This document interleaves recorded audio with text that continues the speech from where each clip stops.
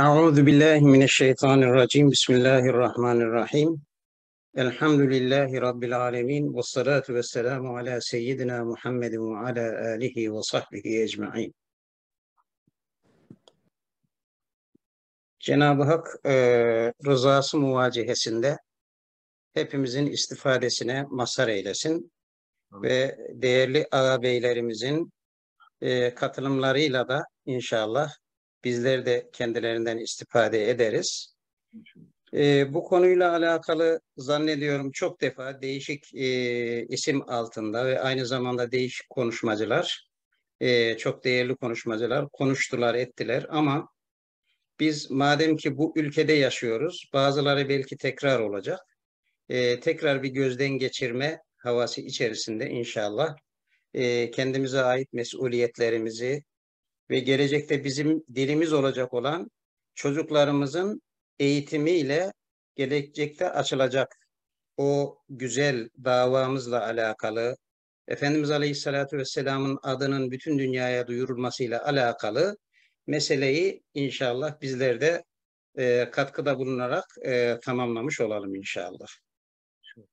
Evet, ehli kitapla ilişkilerimiz. Bununla alakalı Kur'an-ı Kerim'de önce ehli kitap ve ehli kitaba ait bazı kelimelerle alakalı tekrar sayılarını ben size vererek bunun ehemmiyetini anlatmaya çalışacağım abiler. Evet, ehli kitap olarak ya ehlel kitap ve min ehlil kitap gibi 31 yerde geçiyor. Ellezine utül kitap kendisine kitap verilenler olarak baktığımız zaman 16 yerde geçiyor. Yehud olarak 16 yerde geçiyor. Hadu, ellezine hadu, ey Yahudiler anlamında ellezine hadu yine 10 yerde geçiyor. En nesara doğrudan kelime olarak 10 yerde geçiyor. Ama bunun yanında o kadar çok e, yakınından şeyler var. Bir de mesela şöyle düşünelim. Ya Beni İsrail'e var mesela. Ey İsrail oğulları buraya almadım. Çok fazla var. Ya bir 40 1 civarında. Ya beni İsrail'e fükürû nimeti elletiyen amtu aleyhim dedikten sonra ve id ve id ve id ve id neceynâküm min âli firavne yesûmûneküm ve id hep hatırlayın o zamanı diyerek her zaman tekrarlara düşünecek olursak Kur'an-ı Kerim tamamen ehli kitapla adeta içli dışlı gibidir yani bir yönüyle. Ve e, bu şunu da bize anlatıyor. Biz aslında İslamiyet'in ilk zamanlarından itibaren devamlı olarak ehli kitapla münasebet içerisindeyiz. Efendimiz Aleyhisselatü Vesselam Medine-i Münevvere'ye geldiği zaman böyle bir içli dışlı olma hadisesi hemen başlamıştı. Ki ilk anda vahyin geldiği zamanda Hatice validemiz malum Varaka bin Nevfel'e götürmüştü ki o da Nasranilerdendi. İncil'i çok iyi okuyan, bilen bir insandı. Dolayısıyla tamamen ehli kitapla içli dışlı olduğumuzu görüyoruz. E, bu yeni bir hadise değil. Biz belki eh, ehli kitap dünyasıyla e, hızlı bir girişimiz oldu ve ihtiyaçlarımız doğdu. Ama bu eskiden beri var olan bir hadise. İnşallah takip edelim. Her şeyden önce şunu unutmamamız gerekiyor. İslamiyet'te temel esas barıştır. Yani ehli kitapla münasebetlerimiz açısından bakıldığı zaman diğerleriyle bakıldığı zaman İslamiyet'te temel esas barış olduğunu hiçbir zaman unutmamamız gerekiyor. Ha, savaşlar olmuş, bu savaşların gerekçeleri var. Gerekçeleri olduğu zaman ancak savaş olmalı. Onun haricinde esas olan barış olmalı. Neden? Bununla alakalı bir İslamiyete e, etimolojisine girelim. İslam kelimesinin etimolojisinde yani İslam'ın kökü kelime olarak silm, selam, selamet ve selem kelimeleri özellikle göze çarpıyor. Bunlardan türetilen Müslim, ondan sonra gibi e, isimler, Salim, Selim gibi isimler de olabilir. Ama e, asıl olanlar bunlar. Selam ve selamet esenlik ve kurtuluş anlamındadır. Mesela el müslimü men selimel müslimune min lisanihi ve yedihi. Elinden dilinden insanların salim olduğu insandır Müslüman. Burada anlatılan şekliyle yine biz selam anlamını görmüş oluyoruz. Burada özellikle silm ve selam barış anlamında. Ve Kur'an-ı Kerim'de de bununla alakalı ayeti kerimeler var. İki tane selemle alakalı, bir tane de silmle alakalı. Bunlara bir bakalım. Fe in tezellukum felem yukatilukum ve elkav ileykumus seleme. Fema cealallahu lekum aleyhim sebila. Buradaki meallerin hepsi Suat Yıldırım hocamın mealindendir. O bakımdan e, arkadaşlar rahatlıkla bu mealleri şey edebilirler, takip edebilirler. Eğer Allah dileseydi bunları size musallat eder ve bunlar da sizinle savaşırlardı. Yukarıdaki ayetten bir önceki cümle bu. Şimdi öbürsü. O halde onlar sizden uzak durur. Sizinle savaşmazlar ve size barış teklif ederlerse. O takdirde Allah onlara saldırmak için size bir yol vermez. Ne demek? Barışı kabul edeceksiniz demek. Allah size savaşma konusunda yol vermez demek. Yani dolayısıyla esasın barış olduğunu ve selem olduğunu burada anlamış oluyoruz. Ve elkav ileykumüs seleme. Geçelim başka bir ayeti kerime.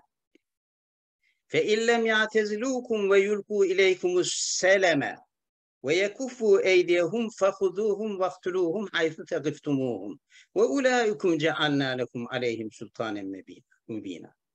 O halde bunlar sizden uzak durmaz. Size barış teklif etmezler ve sizin barış tekliflerinizi kabul etmezler. Ellerini sizden çekmezlerse o zaman savaşın. İşte burada Cenab-ı Hakk'ın vermiş olduğu yetki, savaşma yetkisi budur.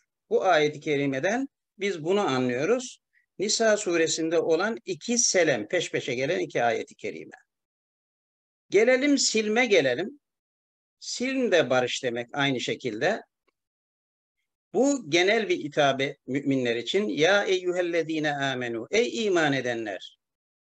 Üdhulu fissilmi kâffeten ve la tettebi'u hutuvâti şeytan innehu lekum aduvun mübin. Hepiniz toptan barış ve selamete girin de şeytanın adımlarını izlemeyin. Çünkü o sizin aranızı açan belli bir düşmandır. Dikkat edilirse burada hep birlikte ve toptan barışa girilme, selamete girme. Yani öyle bir toplum oluşturmamız gerekiyor ki insanlar bizden emin olsunlar, biz insanlardan emin olalım. Devletler muvazenesinde de aynı şey geçerli. Onlar bizden emin olsunlar, biz onlardan emin olalım. Ama ne zaman ki onlar buna rağmen tehdit ederlerse, böyle bir sulh çağrısına rağmen tehdit ederlerse o zaman mesele farklı, cihadın farklı bir boyutu başlamış oluyor. Burada enteresan nokta şu, dikkat edersek şeytanın adımlarını izlemeyin diyor. Demek ki barışın dışında fitne rüzgarlarını takip etmek, topluluğu karıştırmak ve bir kısım toplum içerisinde sıkıntılar oluşturmak doğrudan doğruya şeytanın oyunlarından ve böyle bir şeytanın oyunlarına gelmeyin diyor. Çünkü o sizin için apaçık bir düşmandır diye ifade ediyor.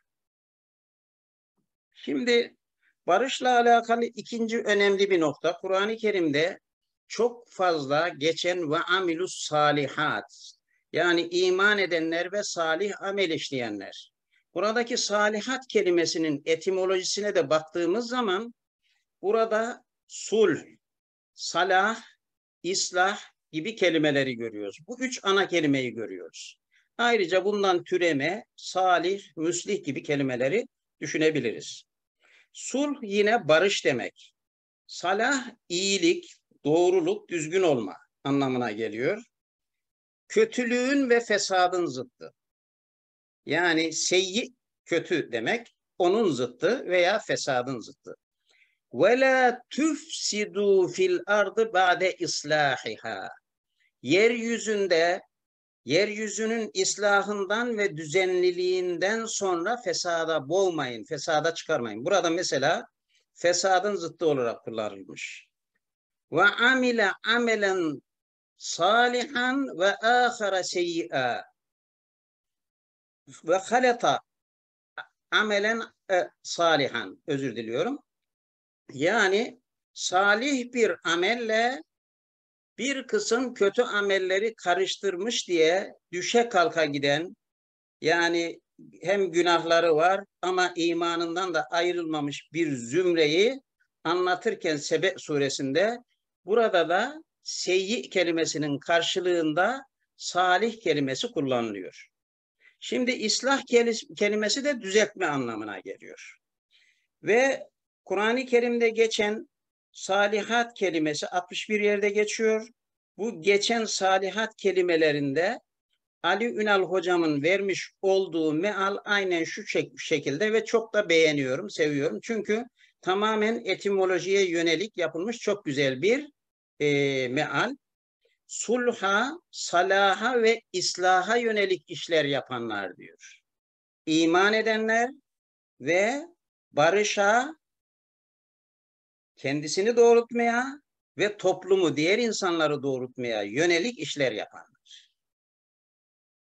Bu anlamda salihat kelimesi de 61 yerde geçiyor. Bunların geçtiği her yerde adeta İslam'ın barış olduğunu bize göstermiş oluyor. Yine Nisa suresinde şunu anlatıyor. Ve sulhu hayır. Sulh en hayırlısıdır. En hayırlı olanıdır.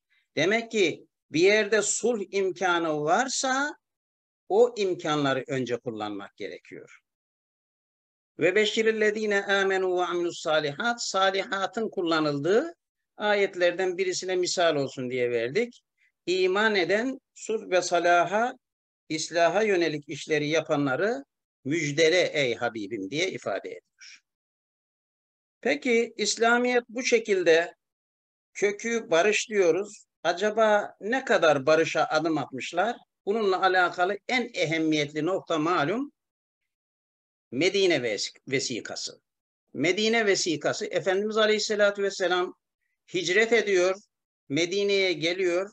Medine'ye gelir gelmez ilk yaptığı en ehemmiyetli, önemli icraat Medine vesikası. Yahudilere gidiyor ve onlarla birlikte 47 maddelik bir anlaşma imzalıyor onlarla birlikte.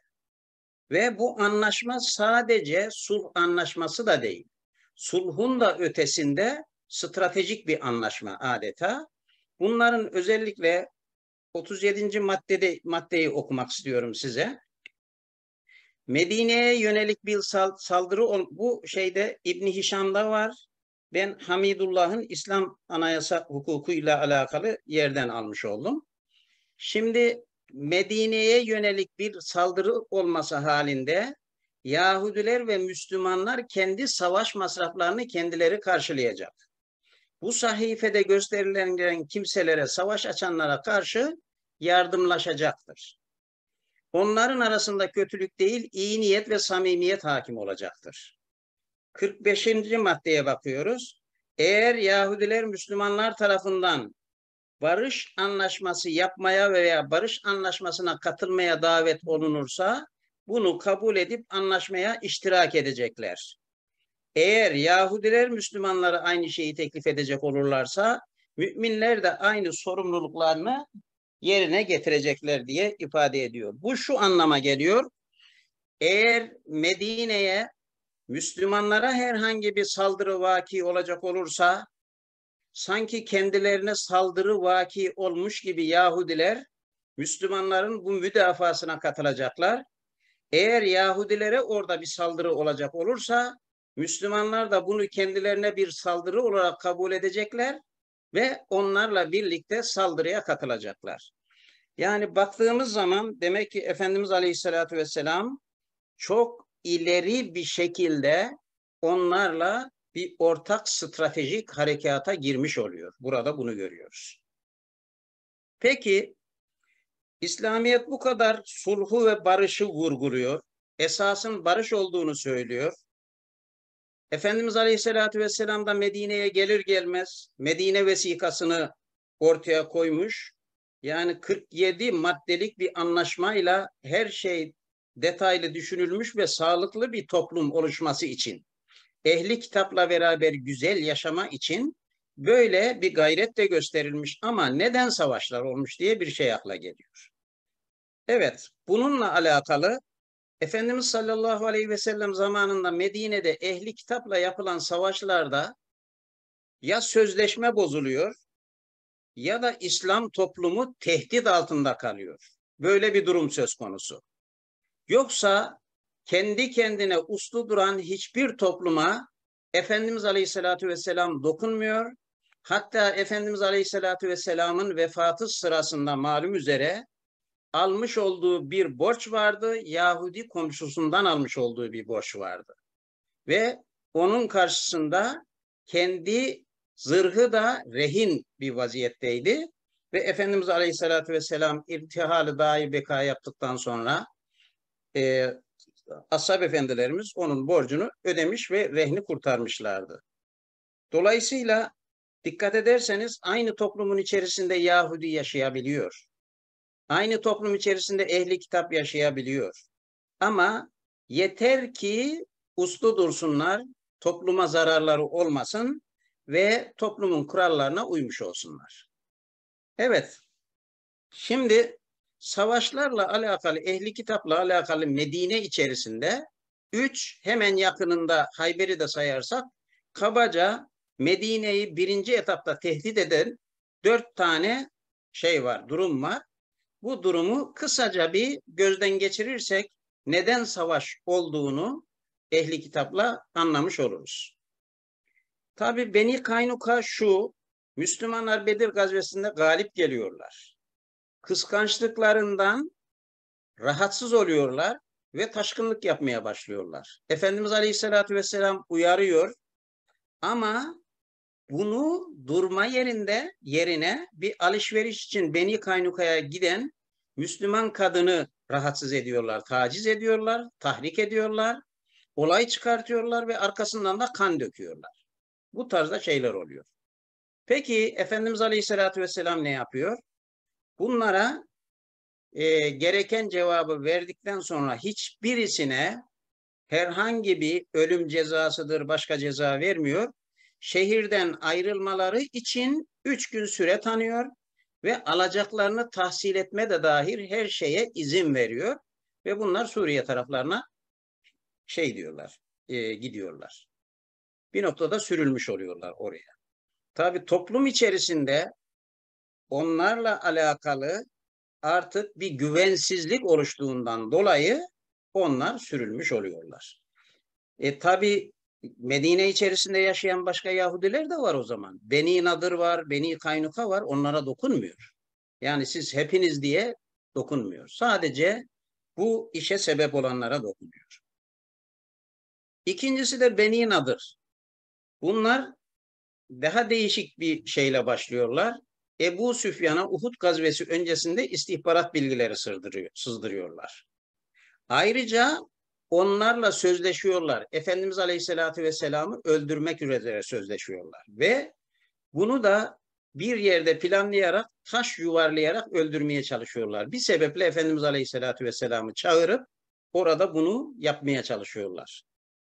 Bu durum üzerine Efendimiz Aleyhisselatü Vesselam onları terk etmelerini söylüyor. Kabul etmiyorlar. Kabul etmemelerinin en önemli sebeplerinden birisi de Abdullah İbni Übey İbni Selul şey Übey İbni Selul. Bu o, şey münafıkların reisi biliyorsunuz Abdullah İbni Übey. 22 bin adamıyla ben yardım edeceğim diyor. Haşr suresinde geniş geniş anlatılır bu. Ama ma, tabii ki yardım etmiyorlar. Ve bunlar da mağlubiyet sonrasında sürgün ediliyorlar. Ve kendilerine yüklerinin alabileceği kadar mallarını taşıma serbestliği veriliyor. Yani Efendimiz Aleyhisselatü Vesselam ne kadar geniş davranıyor burada.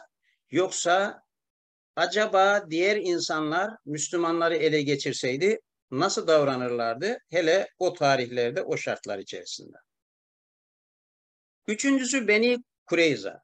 Burada en önemli mesele ihanet meselesi. Özellikle ayeti kerimede anlatılan ve belagatil gulubul hanacira yüreğinizin yüreğiniz o zaman ey Habibim hatırlayın ağzınıza gelmişti diyor. Yani 20 bin kişilik bir ahsap ordusu var. Medine'nin içerisine girme durumunda münafıklar bir taraftan problem, arka tarafta Beni Kureyza'nın kalesi var ve onlar da Müslümanlarla ittifak içerisinde normalde ve savaş başlatıyorlar orada. İşte böyle bir durumda artık bir müfrezeyi çok sıkıntılı bir zamanda ve kritik durumda o tarafa Efendimiz Aleyhisselatü Vesselam gönderme mecburiyetinde kalıyor. Böyle bir ihanetin cezası olarak da bu insanlar o zaman daha farklı bir cezaya malum üzere çarptırılıyorlar. Ve son olarak da Hayber, Medine'den sürülen Beni Nadır Yahudileri orada boş durmuyorlar. Ve kabile kabile dolaşıyorlar. Mekke'ye gidiyorlar, Katafan'a gidiyorlar. Mesela Katafan'a gidiyorlar diyorlar ki bir yıllık yiyeceğinizi biz vereceğiz diyorlar. Gelin savaşın diyorlar. Ve bu şekilde Hendek'i hazırlayan Hayber. Adeta fitne yuvası. Dolayısıyla böyle bir özellikleri olduğundan dolayı bunlarla harp ediliyor. Peki aklımıza şöyle bir şey geliyor. Ehli kitapla dostluk kurabilir miyiz? Bir kısım ayeti kerimelerde hani diyor ya ehli kitabı dost edinmeyin gibi ayeti kerimeler dolaşıyor. Bunların meallerini biliyoruz. Acaba o ne anlama geliyor? Bu da çok önemli. Şimdi abilerimize bunu anlatırken, genel değerlendirmeyi yaparken bunları niye anlatıyorum? Bunları çocuklarımıza da uygun şekilde anlatmamız gerektiğini e, düşünerek anlatıyorum. Çünkü bunun altında yatan bir kısım sebepleri biz bilemezsek o zaman İslamiyet'i zaten bu toplum içerisinde, bu dünyada e, medyada özellikle terör dini olarak gösteriyorlar. Her zaman için Müslümanlarla, Hristiyanlarla arasında var olan şey sanki esas olan şey savaşmış gibi gösteriliyor. Dolayısıyla bundan çocuklarımızı da kurtarma açısından bizim özellikle bu noktalara ve özellikle dini dayanaklarımıza nirengi noktalarına özellikle temam etmemiz gerektiğini düşünerek bunları arz ediyorum müsaadenizle. Şimdi ayeti kerime şunu diyor. Ya eyyühellezine amenu la tettehizul kafirine evliya min dunil müminin. Kafirleri müminleri geride bırakarak, arkada bırakarak dost edinmeyin. Aynı şekilde bu ayeti kerime. Şurada ya eyyühellezine amenu la tettehizul yehude ve nesara evliya. Yahudileri ve Nasranileri dost edinmeyin. Yine Mumtehine suresinde benim ve sizin düşmanlarınız olan bu insanları dost edinmeyin. Bunları görüyoruz. O zaman biz Yahudi ve Hristiyanları dost edinmeyeceksek bu toplumda nasıl yaşayacağız? Gibi bir şey akla geliyor. Ben burada müsaade ederseniz bir geriye geliyorum burada. Ee, Suat hocamın buradaki meali şu şekilde. Ey iman edenler! Müminler yerine kafirleri başınıza getirmeyin. Dost edinmeyin diye meal vermiyor. Yani işin ana ehemmiyetli noktasını onlara bırakmayın diyor. Karar noktasını, son nihai karar noktasını onlara bırakmayın. Yoksa e, dost edinmeyin anlamında vermemiş onu. Bunun da bir tabi mahmili var. Ve la tetevellev burada. Bu ne demek? Dost edinmeyin gibi bir anlam var. Bu kelime nereden türüyor? Veli, velayet, bizim bildiğimiz mütevelli gibi kelimeler bundan geliyor. Veli, müminlerden öte sırların paylaşılacağı sımsıcak dost anlamında. Yani tamam kafirlerle arkadaş olabilirsiniz. Hatta dost da olabilirsiniz. Ama sımsıcak bir dost. Her şeyini müminlerden de öteye paylaşabileceğiniz sımsıcak bir dost haline işi getirmeyin anlamına gelir. Eğer böyle düşünürsek. İkincisi tetevellevdeki tevelli ve mütevelli kelimelerinden düşünürsek Müslümanların hayatiyetini ilgilendiren kritik mercilere koymayın. Ehem işleri onlara vermeyin anlamına gelebilir. Yoksa elbette dost edinilebilir. Bununla alakalı Üstad Bediüzzaman Hazretlerinin şeyde münazarattaki şeyi çok enfes. Hüküm müştak üzerine olsa mekazi iştikakı illeti hüküm gösterir. Şöyle müştak demek türemiş kelime demek. Hüküm türemiş bir kelime üzerinde olsa diyelim. Türkçe ifadesiyle. O zaman nereden türemişse o kelime işte o kelime o hükmün illetini gösterir. Kabaca. Biraz herhalde karışık oldu. Tekrar edelim buradaki ayet-i kerimeye. Ne diyor ayet-i kerimede? Şunu söylüyor. Hemen dönüyoruz. Ya eyyühellezine amenu. Ey iman edenler. La tettehidul yehude ve nasara evliya'e. Yahudi ve Nasranileri evliya edinmeyin. Yani dost edinmeyin. Sımsıcak dost edinmeyin. Ama buradaki Yehud el Yahudiyetten, Nesara'da Nasraniyetten türetilmiş bir kelime olduğundan birisi Yahudiyet dininin sahibi, diğeri Nasraniyet dininin sahibi olduğundan hüküm Yahudiyet ve Nasraniyet illetine göre oluyor. Bu şu demek, Yahudiler ve Nasranileri Yahudiyet ve Nasraniyet açısından yani dinleri açısından dost edinmeyin anlamına gelir diyor kabaca. Arkasından da dost edinmeyle alakalı en ehemmiyetli noktayı burada koyuyor. Ehli kitaptan bir haremin olsa elbette seveceksin diyor. Şimdi şöyle düşünelim. Yahudi ve Nasranileri dost edinmeyin diyor. Ama ayeti kerimelere bakıyoruz. Ehli kitapla evlenmesine izin veriyor Müslümanların. Peki hem evlenecek hem de eşini dost edinmeyecek, düşman edinecek. Böyle bir şey olabilir mi? Demek ki buradaki veli ve dosttan maksat farklı bir şey. Bununla alakalı abiler ben e, hem de dinlendirme olur bir şey anlatayım. Şimdi Kayseri'de Hunat Hatun Camii var. Hunat Hatun Camii Hunat Hatun tarafından yapılmış. Hunat Hatun da Alaiye Devleti'nin kralının kızı normalde. Hristiyan olarak Selçuklu Hanedanı'na girmiş. Alaaddin e, e, o zaman Sultan Alaaddin'in hanesine girmiş hanımı olarak. 16 yaşlarında girmiş ve ondan sonra uzun yıllar onun hanımı olarak hanedanda devam etmiş. Ama Hristiyan olarak yaşamış. Ve sarayında kendisine ait kilisesi var. Özel ibadet yeri kilisesine ayarlamışlar. Bu yıllarca devam etmiş. Ve ne zaman ki Sultan Alaaddin vefat etmiş, o vefat ettikten sonra o zaman bazı şeyler kafasına dank etmiş, araştırmış ve Müslüman olmuş. Ve koskocaman Hunat Hatun Camii'ni kendisine ait melekiyle yaptırmış. Yani siz bir devlet düşünün, öyle bir devlet ve bir hanımefendi geliyor, Hristiyan olarak oraya geliyor ve ibadetlerine hiç dokunmuyorsunuz, hiç müdahale etmiyorsunuz. Bir hayat birlikte devam ediyor ve en sonunda kendisi de Müslüman oluyor. Buradaki o güzellik karşısında o da Müslüman oluyor.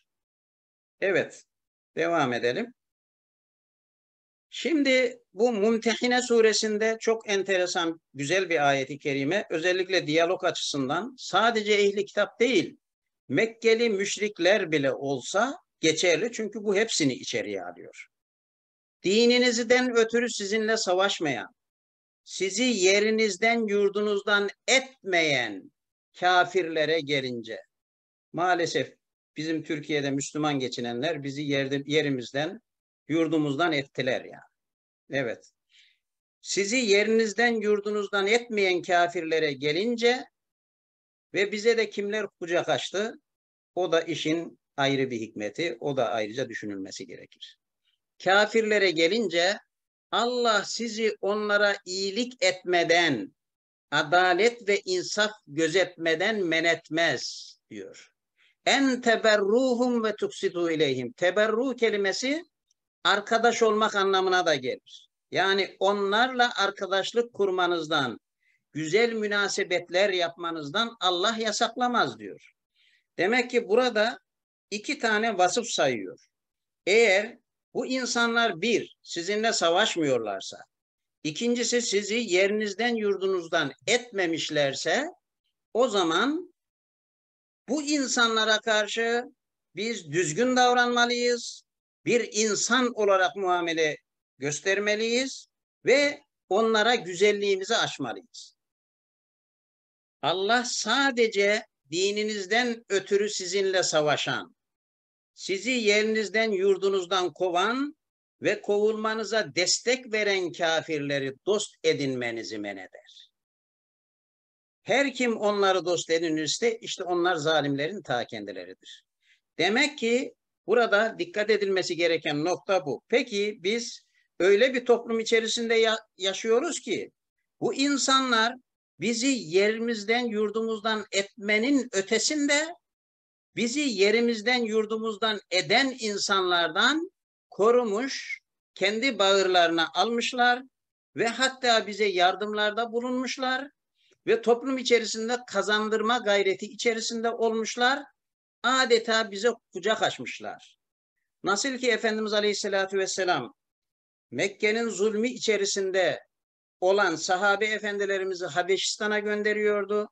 Habeş Meliki de kucağını sahabe efendilerimize açmıştı ve sonunda Efendimiz Aleyhisselatü Vesselam'ın nurlu beyanlarıyla erimiş ve Müslüman olmuştu. Cenab-ı Hak buralarda da bize gönül açan, bize kapı açan, bağrına basan bu insanlara da hidayet nasip eylesin. Şimdi ehli kitap diğer inkarcılardan farklı tutulmalıdır. Bu Kur'an'ın bir hükmü. Buna özellikle dikkat etmemiz gerekiyor. Bakalım ne gibi farklılıkları var? Bunlarla alakalı bazı noktalara bakalım. Şimdi bu iki ayeti kerime bir, bir, biri diğerine çok yakın. Birisini okusak yeter. وَمَا اَرْسَلْنَا قَبْلِكَ اِلَّا رِجَالًا نُوحِي اِلَيْهِمْ Ey Habibim senden önce de bir kısım peygamberleri erkek olarak peygamberleri erkek peygamberleri göndermiştik diyor. Fes'elu ehle zikri in kuntum la ta'lemun. Ehli zikre sorun eğer bilmiyorsanız. Ehli zikir kimdir? Hatırlayıp bilenlere sorun ehli zikir. Diğer şeyde şöyle anlam vermiş, ilim adamlarına sorunuz diye vermiş. Genel anlamı bu.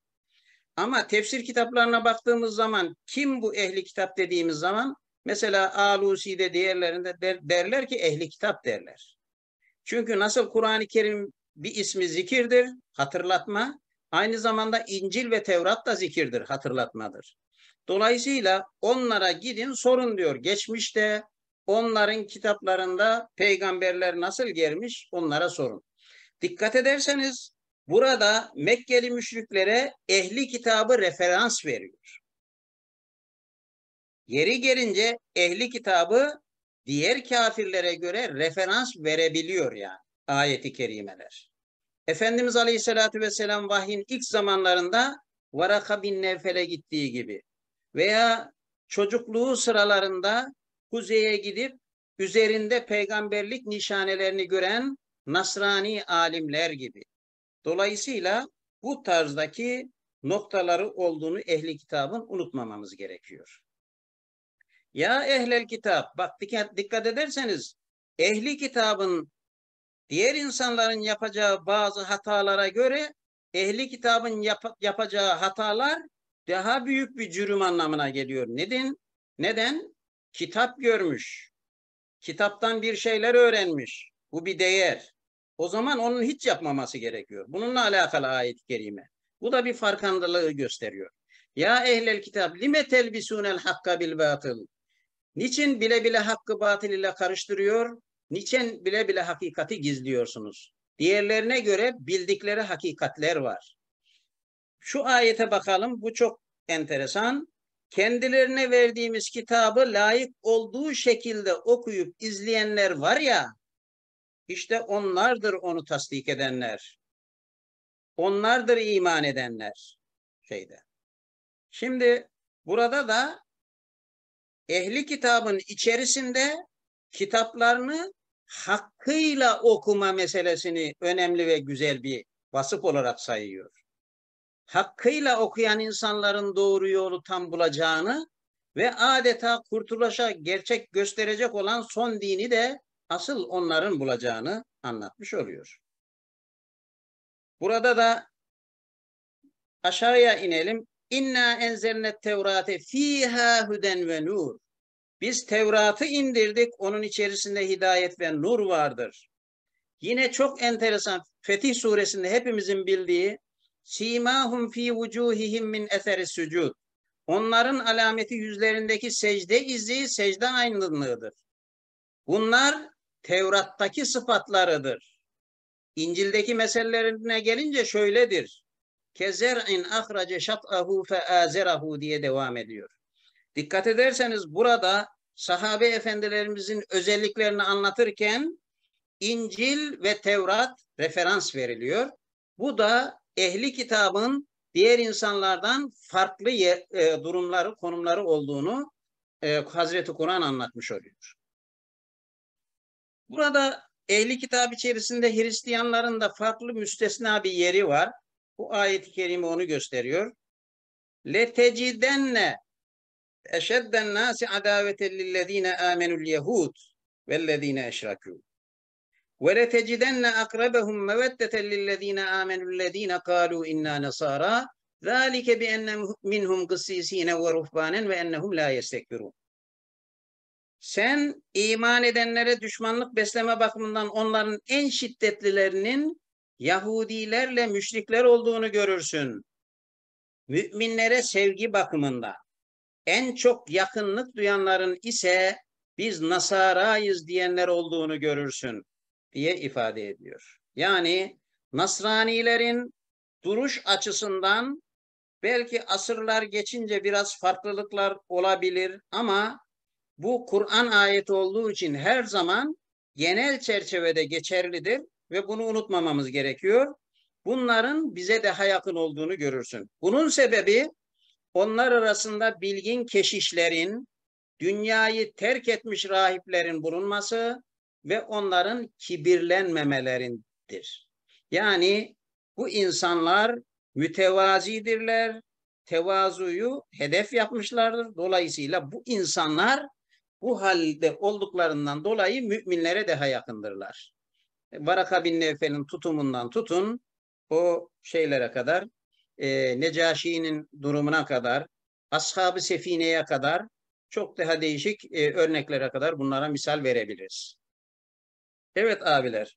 Demek ki dikkat edersek burada özellikle içinde yaşandığımız dünya olarak bu dünyanın bir daha farklı alınması gerektiğini, Hristiyanların müminlere çok yakın bir konumda olacağını veya olabileceğini. Biz eğer kendimizi onlara çok iyi tanıtırsak, onlara samimiyetimizi gerçekten gösterirsek, onların bize çok yakınlık duyabileceğini biz bu ayeti kerimeden anlamış oluyoruz.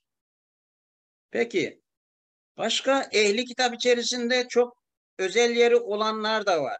Ayeti kerimeler bunları anlatıyor. Bunlara biraz bakalım. Ve in ehli kitabi lemen yu'minu billah. Ehli kitaptan öyle insanlar vardır ki Allah'a iman ederler. Hakkı tazim ederek hem size de kendilerine indirilen kitaba inananlar da vardır elbet. Onlar Allah'ın ayetlerini değersiz bir menfaat karşılığında satmazlar. Doğruları, gerçekleri ketmetmezler. İşte Rabbin nezdinde mükafatlı olanlar onlardır. Muhakkak ki Allah hesabı pek çabuk görür diyor. Devam edelim. Ehli kitaptan öylesi vardır ki kendisine yüklerle altın emanet bıraksan onları sana öder. Ama öylesi de vardır ki bir altın bile versen başında dikilip durmadıkça ona sana onu sana geri vermez. Yani ehli kitap içerisinde baktığımız zaman demek ki bazıları oldukça dürüst. Bu dünya içerisinde dürüstlüklerini de görüyoruz çoğunun yani. Oldukça dürüstler. Demek ki Burada altınla altın olmayanı, değerliyle değersizi ayırt etmek gerekiyor. Muhatabımızı iyi tanımak gerekiyor. Komşularımızda, çevremizde, diyalog yaptığımız insanlarda özellikle bu altınları bulmamız gerekiyor anladığımız kadarıyla. Yine devam ediyor. Ehli kitabın hepsi bir değildir. Onların içinde öyle dosdoğru bir cemaat vardır ki gece saatlerinde Allah'ın ayetlerini okuyarak secdelere kapanırlar. Malum Maroviç benim Rabbimle aramda her gece bir buçuk saatlik bir zaman dilimim vardır diyor. Allah rahmet eylesin. İnşallah Müslüman olarak ölmüştür. Şimdi secdelere kapanırlar. Bunlar Allah'ı ve ahireti tasdik eder, iyiliği yayar, kötülükleri önler ve hayırlı işleri yarışırcasına koşarlar işlere. İşte onlar salihlerdendir diyor ayeti kerime. Allah söylüyor bunu. Yaptıkları hayır ve iyiliklerden mükafatsız kalan bir tek iyilik bile bulunmayacaktır. Yani onlara Allah karşılığını verecektir. Allah Şekur ismi vardır onda. Nedir? En fazla şükreden, şükre en güzel karşılık veren.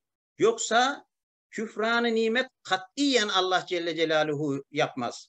Zaten ayet-i kerimenin aslında da şurada hemen bakarsanız felen yükferu onlar küfranı nimete uğratılmayacaklardır diye ifade ediyor. Allah günahlardan korunan takva ehlini pek iyi bilir diye ifade ediyor. Ve bundan sonra da şunu anlatıyor ayet-i kerime buraya almadım. Ve tera ayunehum tefidu minet dem'i mimma arafu minel hak. Hak'tan kendilerine okunan ayeti kerimeleri bunlar dinledikleri zaman gözlerinden yaşların şıpır şıpır aktığını görürsün ey Habibim diyor. Ondan sonra derler ki ey Rabbimiz biz kiliseye imandan sonra Hazreti İsa'ya imandan sonra tekrar gelen bu Resul'e de iman ettik. Bizi şahitlerden eyle diye ashabı sefinenin durumunu burada anlatmış oluyor. İşte bu asırda bu tarzda ashabı sefineler yok mudur? Elbette vardır. Bunları araştırmak gerekiyor. Yani şöyle düşünelim. Anadolu dünyası içerisinde Anadolu'da hepimiz orada geldik Müslüman olarak. Hristiyanları sürdük mü? Hayır. Hristiyanların çoğu Müslüman oldular o dünya içerisinde. Selçuklu Devleti, Osmanlı Devleti, Bosna, daha e, şeyde o o dünyalar içerisinde zorlama da yok. Bir yere bakıyorsunuz Sırbistan'da Hristiyan yaşıyor, Bosna'da Müslüman oluyorlar. Bunun gibi. Yani dikkat edersek her yerde bu şekilde bir cemaati, ashab-ı sefine gibi bir cemaati bulmak mümkün. Bu asırda da mümkün. Ona göre bu perspektifle arkadaşlarımızın inşallah bakması gerekiyor olaya. Evet, bu da önemli bir nokta. Diğerlerine yapılacak tebliğden farklı olarak diğerlerinde de elbette hikmet ve mev'izayı hasene ile yaklaşmak gerekiyor bütün insanlara. Ateist bile olsa ama ehli kitaba hassaten böyle bir emir var. Emirde de şöyle bir stil izlenmiş. Ve la tucadilu ehlel kitabi. Ve la tucadilu ehlel kitabi. Ehli kitapla mücadelede bulunmayın. Münakaşada bulunmayın. Yani onları adeta incitmeyin der gibi. Ama bir tek müstesnası var. İlla diyor. Billeti ahsen. En güzel şekliyle mücadele edin en güzel şekliyle münakaşa edin. İllellezine zalemu minhum. Onlardan zalim olanlar müstesna. Adam zulmeder veya savaş şeyi almıştır. O zaman savaş hükümleri konuşur gibi. Ama normalde ehli kitapla konuşurken alabildiğine bir nezahet ve nezaket. Allah emrediyor bunu. Allah Celle Celaluhu nehi kipi ve tersinden bir illa ile hasır ancak böyle yapabilirsiniz diye emrediyor. Ve deyin ki ve kulu amennâ billezî unzile ileyna ve unzile ileyküm. Bak bizim söyleyeceğimiz onlara söz budur diyor bak. Biz bize indirilenlere de inanıyoruz. Size indirilenlere de inanıyoruz. Devam ediyor bakınız. Ve ilahuna ve ilahukum vahid. Bizimle sizin peyga şey ilahınız tektir. Yani sizin tanrınız da bizim tanrımız da taptığımız ilahımız Allah'ımız aynıdır. Ve nahnu lehu müslümun. Biz işte ona Müslüman olmuşuz. Ona teslim olmuşuz. Evet. Bu şekilde e, ehli kitaba davranmayı, yaklaşmayı emrediyor.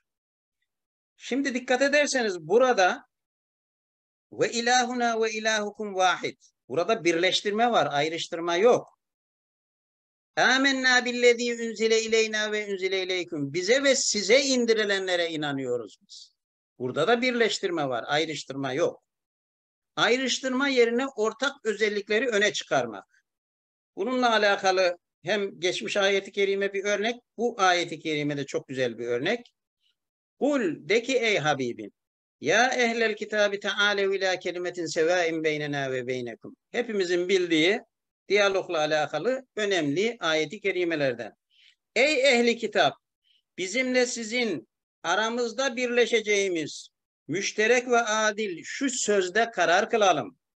Allah'tan başkasına ibadet etmeyelim. Ona hiçbir şeyi şerik koşmayalım. Kimimiz kimimizi Allah'ın yanında Rab edinmesin.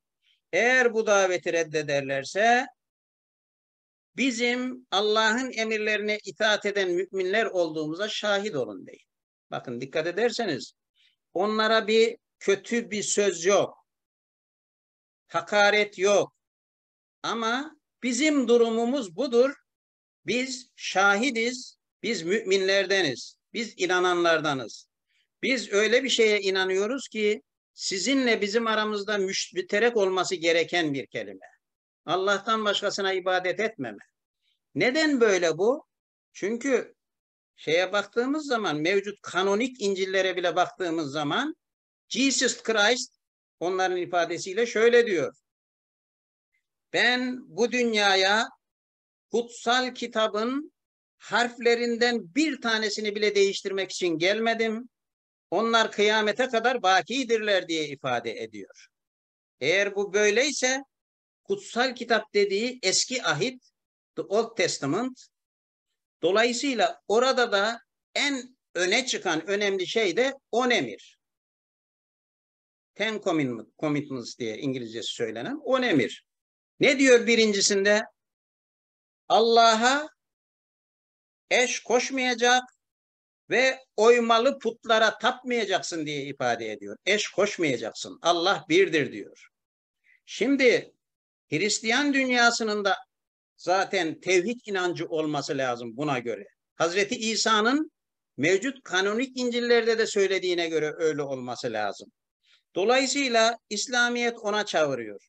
Gerçi onlar da tevil ediyorlar. Biz evet diyor tek Allah'a inanıyoruz ama sıfatları şu bu gibi şeylerle şey diyorlar. Ama Kur'an burada dikkat ederseniz oradaki şeylere girmeden burada ortak olan tek kelimeye onların da hoşuna gidebilecek, onların da sevebileceği, çok rahat anlayabileceği bir kelimeye insanları davet etmiş oluyor. Evet. Peki bu insanlara karşı böyle davet etme var. Bir de davranışlarımızda nasıl davranacağız? Bir mümine nasıl davranıyorsak öyle davranacağız. Hatta eğer mümin haksız, eğer bir ehli kitap haklıysa ehli kitaba hakkını vereceğiz. Bu da olmuş.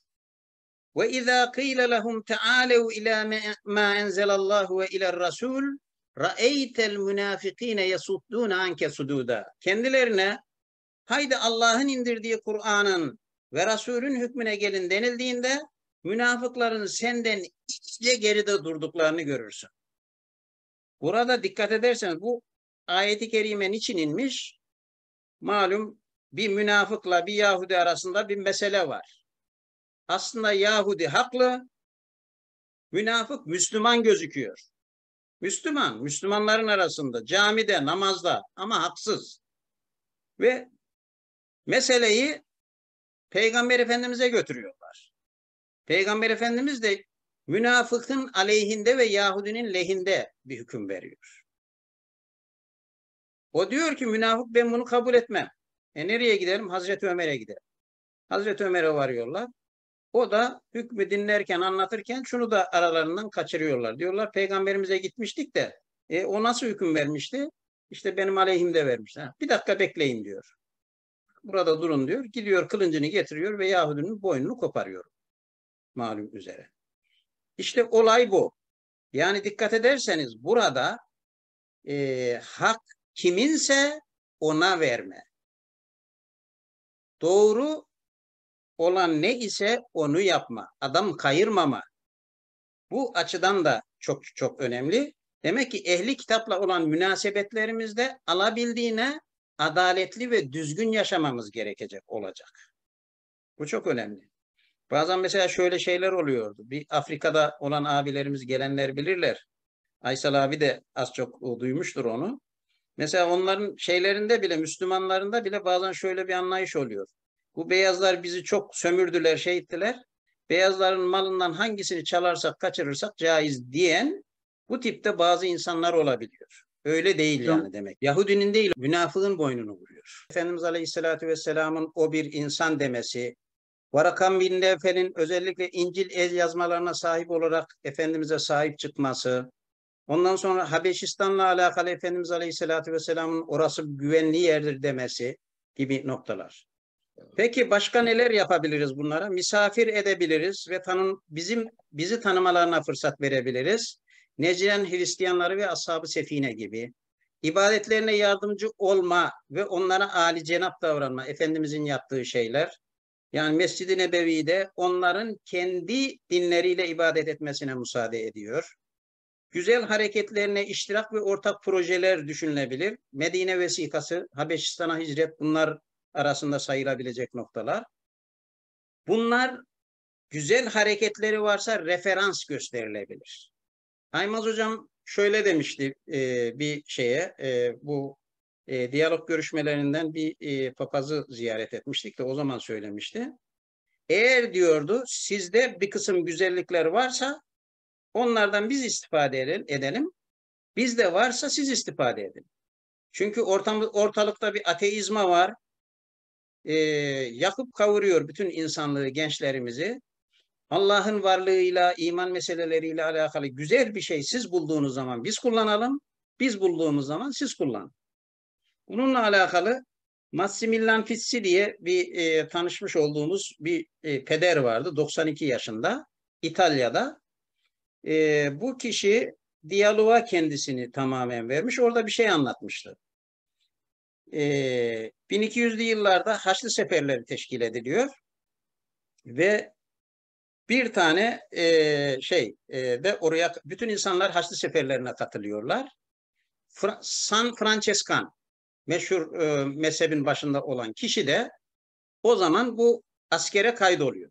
Ama gece rüyasında Hazreti İsa'yı görüyor. Diyor ki savaş haksızlıktır. Müslümanlarla aranı e, diyalogla hallediyor.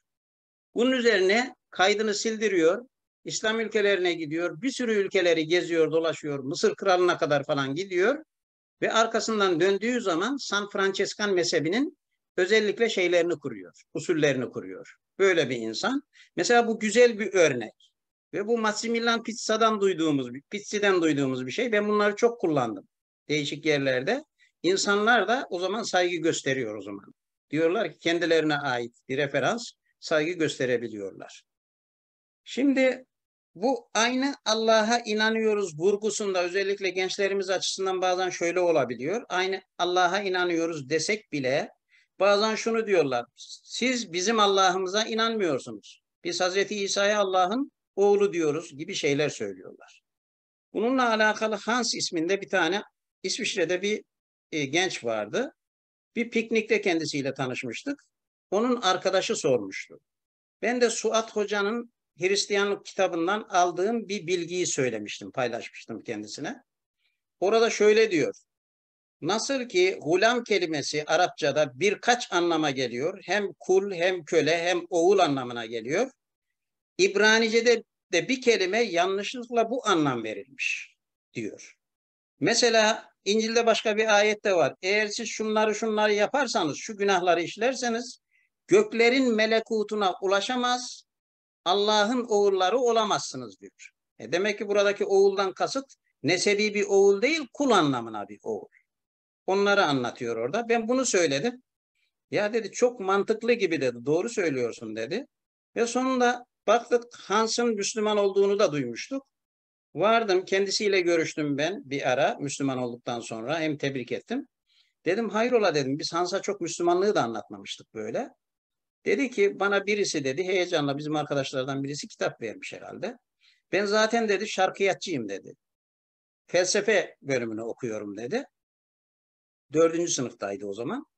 Çok kitap okudum dedi İslamiyetle alakalı. Ama kendi ifadesiyle hepsini çöpe at dedi. Yalnız bir kitap elime geçti ondan sonra dedi Müslüman olmaya karar verdim. Dedim nedir o kitap? İnancın Gölgesinde e, kitabının Almancasıymış. Herhalde e, Fatih Hocam daha iyi bilecektir. E, Des Glauben şey e, Das Glaubens e, Die Glaubens Des Islamischen falan bir şeydi o. Des Islamischen Glaubens e, diye bir şey. Grundlagen des Islamischen Glaubens değil mi hocam? Öyle bir şeydi kitapta. Yani bizim arkadaşların tercüme etmiş olduğu, Hoca Efendi'nin kitabını kazandırmış olduğu bu kitap Hans'ın Müslüman olmasına sebep olmuş. Çünkü her şey yerli yerine oturdu demişti. Şimdi e, referans olarak mesela Morus Bikail'in, Carlyle'in, Bismarck'ın İslamiyetle alakalı sözleri, kitapları, Harrison'un Allah'ın varlığıyla alakalı delilleri ve benzeri şeyler e, referans olarak bunlara gösterilebilir ve çocuklarımıza bu tarzdaki şeylerden kabaca bazı şeyler öğretilebilir. Ve terbiyeye başlamadan önce ilk şey, e, son kalan şey de e, üstadımızın malum üzere inkari uluhiyete karşı Hristiyan dindarlarla ittifak. Yani demek ki e, ehli diyanet ve ehli hakikat değil yalnız dindaşı, meslektaşı, kardeşi olanlarla samimi ittifak etmek belki Hristiyanların hakiki dindar ruhanileri ile dahi medari ihtilaf noktaları muvakkaten medari münakaşa ve niza etmeyerek müşterek düşmanlar olan mütecaviz dinsizlere karşı ittifaka muhtaçtırlar diyor. Dolayısıyla burada karşımızda ciddi bir problem var. Dinsizlik var, kasıp kavuruyor. E, alabildiğine bir deizm var, şüphecilik var. Bunlara karşı demek ki müşterek hareket etmek gerekiyor. Evet, çocuk eğitiminde dikkat edilmesi gereken hususlar hocamızın çocuk eğitimiyle alakalı malum anlatmış olduğu şeyler var. Bunlar değişmiyor. Bunları aynen hemen hızlı bir gözden geçirelim. Bir iki de misalle ben bitirmiş olayım. Hani tohumun güzel atılmasından tutun bereketli evlilikten işte e, ilk zamandaki Allahümme cennibni mine şeytan duasına kadar haram yiyeceklere dikkat etme, doğumdan itibaren her merhalede yaşayarak örnek olma, güzergahın temiz olması, güzel çevre, mensubiyet hissinin verilmesi, yaşa uygun tarzda yapılan bilgilendirmeler, bunlar genel bilgiler malum. Kısa bir tekrarlamış olduk. Zorlayıcı değil, sevdirici ve özendirici olma. Bununla alakalı Enes radıyallahu an çok güzel bir örnek. Diyor ki 10 yıl yanında hizmet ettim. Bana yaptığım bir şey için niçin yaptın, yapmadığım bir şey için niçin yapmadın demedi diyor. Ama Enes radıyallahu anh Efendimiz aleyhissalatü vesselam'ı o kadar seviyor ki bir gün işte birisi soruyor. Ya Resulallah ben diyor ahirete getireceğim hiçbir şey yoktur diyor. Ama bir tek Allah ve Resulünün sevgisi, Allah Resulünün sevgisi deyince Efendimiz Aleyhisselatü Vesselam el mer'u me'amen ahabbe diyor. Kişi sevdiğiyle beraberdir. Enes radıyallahu anh diyor ki biz o kadar sevinmiştik ki bu hadis-i şerife. Çünkü biz peygamberimizi çıldırasıya seviyorduk. Çok seviyorduk. Demek ki 10 yaşında bir çocuk olarak oraya gelmiş, hizmetinde hep bulunmuş ama hep sevdirici ve özendirici olan Efendimiz Aleyhisselatü Vesselam'ı o kadar sevmiş ve bu hadise de çok sevinmiş. Malum baba Ömer geldi hadisesini çok iyi biliyorsunuz. Bunu açıklamayacağım şimdi. Ben ben burada bir tane e, e, bizim kamplarda yaşanan bir şeyi anlatacağım. Bu o, İsviçre'de yapılan kamplardan birisindeydi yıllar önce.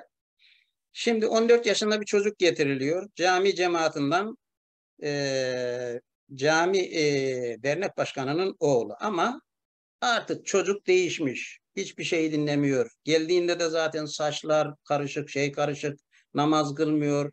Her tarafında kokular sürüyor falan filan. işi gücü farklı. Belki zorla getirilmiş gibi bir havası var. Ama arkadaşlar onun gönlüne, kalbine girdiler. Sonra arkasından işte e, şey e, böyle müdareseli bir şekilde e, Çağrı filmi izletildi. Çağrı e, 15-20 dakika aralarla interaktif seyrettiriliyor ve oradaki olaylar e, falan izah ediliyordu. Bir gün çocuk şunu söylüyor. Benim diyor tek bir favorim vardı diyor. O dün gece öldü diyor. Diyorlar arkadaşlar neydi o senin favorin? Michael Jackson diyor. O öldü diyor. Şimdi diyor benim tek bir favorim var diyor. O da Hazreti Hamza diyor. Yani demek ki sevdirmek, özendirmek ve onlara hani idol dedikleri veya rol şeyi dedikleri nedir o bir ifade var. Evet, o tarzda insanlar olarak sahabe efendilerimizin konmasını sağlamak. İşte bunları sağlamaya çalışmalıyız çocuklarımız için. Şimdi tabii çocuk deyip de geçmemek gerekiyor. Bununla alakalı Amerika'da bir Ayşe örneği var. Çok enfes bir örnek. Ayşe daha 5 yaşlarında kreşe gitmiş. Bizim abilerden birisi oraya gitmiş. Kreşe koymuşlar. Kreşte herkes dua ederken böyle dua ediyor. Malum şöyle dua ediyorlar. Onların usulü. Ama Ayşe böyle ediyor. Herkes kenardan vuruyorlar diyorlar ki Ayşe öyle dua edilmez. Böyle edilecek. O da diyor ki yok diyor. O kararlı. Böyle dua edilir. Neyse ders bitiyor. Dersten sonra e, teneffüs başlıyor. Ayşe'ye herkes toplanıyorlar. Soruyorlar sen niye böyle yapıyorsun? Ayşe diyor ki e, biz Allah'tan bir şey istiyoruz. İsterken ellerimizi açıyoruz ki verdiği şeyi kapalım diye. Ama böyle olursa yana düşer diyor, dökülür diyor. Yani her yaşta olan insanın algılayacağı bir havada belki onların izahları biraz da farklı oluyor ama bu tarzda demek ki e, gelişimler olabiliyor. Çocuklar bu tarzda bizi örnek gördükleri zaman çok güzel şeyler geliştirebiliyorlar. İtalya'da rastladığım bir örnek. Bu da Fatma. E, İtalya'ya 70 kilometrede Rieti'de İbrahim isminde bir arkadaşımız var. Bu arkadaşımızın da İtalyan bir e, hanımefendiyle evli, evli, Müslüman olmuş. Fatma ilkokula gidiyor. İlkokulda din derslerine girmiyor. Hep dışarıda duruyor. Başka duracağı da yer yok. Bir yağmur gününde e, diyorlar ki içeri alalım üşümesin. O sırada e, din dersi hocası da anlatıyor. Cisu filyo di dio diye başlıyor. Yani Tanrı'nın oğlu Cesu diye. Fatma hemen orada gayri ihtiyari anında cevap veriyor. Allah'ın oğlu mu olurmuş ki diyor. Niye Fatma diyor biz hep öyle deriz falan diyor. Şimdi diyor Allah insan mı ki onun bir oğlu olsun. Bu çok önemli bir mesele. Adeta burada İhlas suresi anlatılıyor. İhlas suresinde lem yelid ve lem yulet. Allah'ı anlatırken ne doğmuştur ne de doğurulmuştur diye ifade ederken onu anlatıyor. Yani uluhiyet öyle bir hadisedir ki insanlara hiç benzemez. O ne doğmuştur ne doğurulmuştur. Fatma bunu anlatıyor. Dolayısıyla özellikle küçük yaşlardan bizim şeylerimiz başlaması gerekiyor. E, eğitimlerimiz. Bunlarla önemli günlerde tebrikleşmeler ol, olabilir. Aşure gibi benzer şeylerden istifade edilebilir. Ortak noktalarımızı çocuklarımıza hasaten öğretmemizde fayda var bu dünya içerisinde. Mesela bizde Ali İmran suresi var. Hazreti İsa Aleyhisselam'ın ailesinden bahsediyor. Meryem suresi var bizde. Hazreti İsa ve Meryem, Yahya, Zekeriya ve eski ahitlere biz de inanıyoruz. Aynı Allah'a inanıyoruz. Aynı kaynaktan biz e, şey almışız. Çünkü onlarda Gabriel var, bizde Cebrail var. Onlarda Michael var, bizde Mikail var. Biz onlarda Mari diyorlar veya Maria diyorlar İtalyanlar. Bizde Meryem var gibi. Bunları da farkındalıklarını bildirmemizde fayda var. Ben burada bir Marcos isminde bir şeyle görüşmüştüm e, Türkiye'de. Bu adam Süryani bir papazın oğlu normalde. Kendisi de katı Hristiyanlardan. Bununla bir seyahatimiz oldu. Dönerken ikimiziz sadece. Bir iş üzerine İzmit'e gitmiştik. Bizim müesseselerimizden birisinin o zaman şeyini yapıyordu, mimarlığını yapıyordu. Dönerken saat 3-4 gibi bir hava gidiyoruz bir taraftan otobanda. Benim içimden geçti. Meryem suresini okumaya başladım. Şey, e, Ali İmran suresini okumaya başladım. Hani Ali İmran suresinde diyor ya ya Meryem Allah seni diğer insanların arasından seçmiştir ve insanlık e, kadınlık dünyasının en üst makamına oturtmuştur anlamında ayet-i kerimeler. Melaike-i kiram onlara söylüyor. Tabi Marcos aslı şeyden Suriye'den ve Arapçayı çok iyi biliyor. Hemen orada şunu söyledi Kur'an'dan sonra. Dedi ki şimdi bütün vücudumla titriyorum dedi. Beni dedi müthiş bir şey aldı, hava aldı dedi. Kur'an-ı Kerim'de böyle ayetler var mı dedi yani. Böyle. Demek ki bizim bu tarzda güzel noktalarımız var. Çocuklarımıza bunları çok iyi anlatmamız gerekiyor inşallah. Güzel örnek olmayı hepimiz biliyoruz. Malum biz ahval ve etvarımızla İslamiyet'i temsil edecek olursak sair edyanın müntesipleri fevç fevç İslamiyet'i dehalet edeceklerdir diyor. Şimdi sorular karşısında hazırlıklı olma da önemli. Kadın haklarıdır, köleliktir, dört evliliktir. Mesela bizim ev sahibi Vittori vardı İtalya, İtalya'da. O bu tarzdaki şeyler geldi miydi bunları sorardı özellikle. Bunlara dikkatli olmak lazım.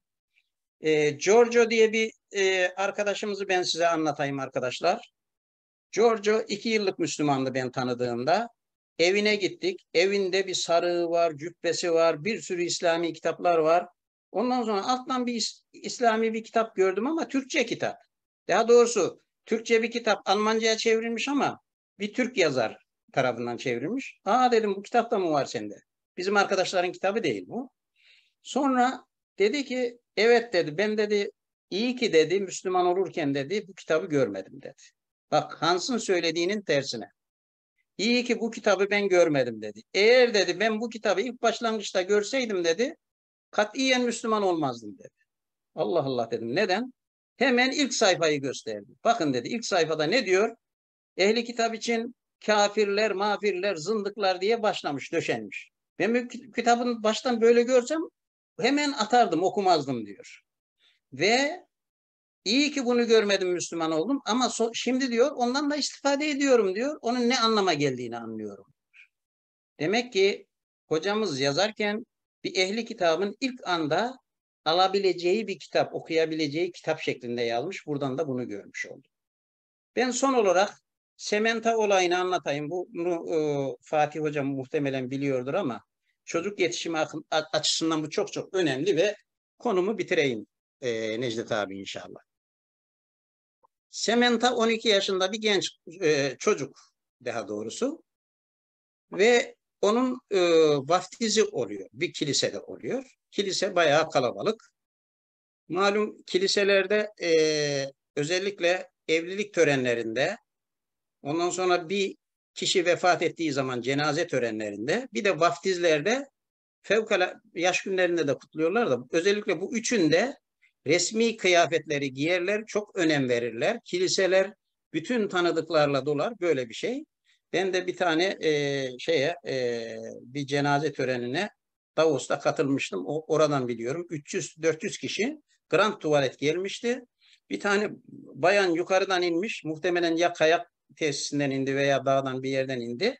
Kusura bakmayın diye defalarca şey yaptı. E, özür diledi. Eve gidip de üzerimi değişemedim diye, diye. Bunlar demek ki çok önem veriyorlarmış yani böyle şeylere. Şimdi Sementa böyle bir yerde vaftiz oluyor. Sementa vaftiz olurken önce papaz konuşuyor, arkasından babası konuşuyor, arkasından annesi konuşuyor. Sıra Sementa'ya geliyor. Sementa konuşmaya başlıyor. Sementa aynen şunu söylüyor. Diyor ki ben diyor şu papaz efendinin bu zamana kadar söyledikleri şeyden hiçbir şey anlamadım diyor. Bir soğukluk çöküyor kiliseye. Neden anlamadım diye soracaksınız diyor. Çünkü bana diyor üç tane Allah'tan bahsediyor, üç Tanrı'dan bahsediyor diyor. Peki diyor, Ben bir şey isteyeceğim zaman bunlardan hangisinden isteyeceğim diyor. Veya sığınacağım zaman bunlardan hangisine sığınacağım bir kötülükten dolayı diyor. Kafam karışıyor diyor. Ama diyor Hatice'nin kafası karışmıyor diyor. Millet şaşırıyor. Hatice de kim? Bir de Hatice çıktı ortaya. Arka saflarda bir Türk aile var. Arkadaşlar annesi ve babası kızıyla birlikte çağrılmış sınıf arkadaşı Hatice. Hatice'ye diyor ben gidiyorum çoğu zaman diyor. Gittiğim her zaman şefkatle karşılıyor diyor aile diyor beni diyor. İşte annem burada diyor, babam burada diyor. Annem bazen kavga yapar diyor, evden bir ayrılır, günlerce gelmez diyor. Babam ayrılır, günlerce gelmez diyor. Bazen ikisi de çeker gider, ben geceleri yalnız başıma ağlarım diyor. Tamamen yalnız kalırım diyor. Ama diyor Hatice'nin evinde bu hiçbir zaman olmuyor diyor. Hatice'nin evinde her gün sıcak bir yemek pişiyor diyor. Ve diyor onlar diyor güzelliklerini, dinlerinin güzellikleri kendi aralarındaki münasebetlerine de e, sıçramış ve çok güzel bir hava var diyor. Ben şimdi diyor vaftiz olacağım diyor. Annemi ve babamı memnun etmek için bunu yapacağım diyor. Ama ne zaman ki 18 yaşına ilk gireceğim diyor, girdiğim ilk gün Müslüman olacağım ben diyor. Hemen annesi babası söz alıyorlar orada. Diyorlar ki biz zaten kiliseye de inanmayız, ateistiz diyorlar. Ama diyoruz biz demokratik bir aileyiz. Hatice şey Sementa kızımız istiyorsa Müslüman olmayı 18 yaşının beklemesine gerek yok. İstediğimiz zaman Müslüman olabilir diyor. Hatta Hatice'nin evine biz o aileyi de biliyoruz. Çok güvenilir bir aile. İstediği zaman gidebilir, kalabilir. Hatta onunla Türkiye'ye gezi de yapabilir diye söylüyor orada. Ve Sementa o sene Müslüman olmuştu diyorlar ve Türkiye gezisi yapmıştı diye ifade ediyorlar. Tabi burada Sementa'yı Müslüman olmaya çeken nedir? Ahval ve etvarımızın güzel olması, güzel örnek olmamız. İnşallah biz bu anlamda çocuklarımızı yetiştirirsek bu dünya içerisinde en güzel bir şekilde yaşayacağız ve Efendimiz Aleyhisselatü Vesselam'ın davasını da en güzel bir şekilde temsil edecek ve bu insanların Müslüman olmasına da vesile olacağız inşallah. Cenab-ı Hak bizi bunlardan eylesin. Hepinizi muhabbetle ve hürmetle selamlıyorum.